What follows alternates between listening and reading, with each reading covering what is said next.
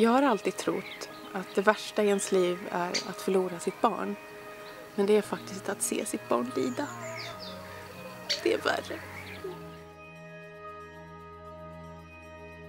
Vi eh, har möjligheter att ta hand om de svåraste klienterna. Men att vi inte är rädda för att verkligen ta tag i det som kanske andra liksom känner att det här får någon annan göra. Det kan vi göra.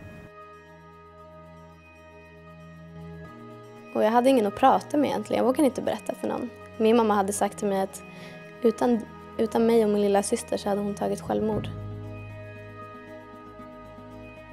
Personalen kramar om oss patienter.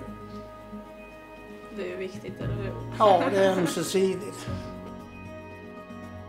Ett av våra viktigaste jobb det är ju faktiskt att förmedla hopp om att det faktiskt är eh, okej, okay, att det finns eh, Eh, bra saker i livet och att man ska välja livet. Hade jag inte fått den hjälpen jag fick då vet jag inte. Det vet, då vet jag inte vad som hade hänt.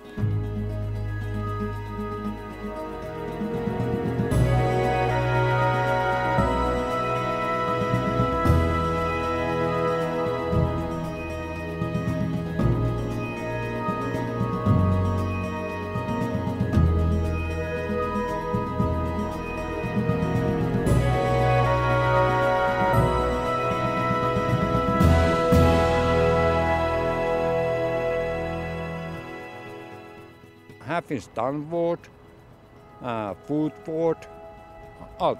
Psykiatrerna om någon behöver. Här finns allt. Det är alltså perfekt.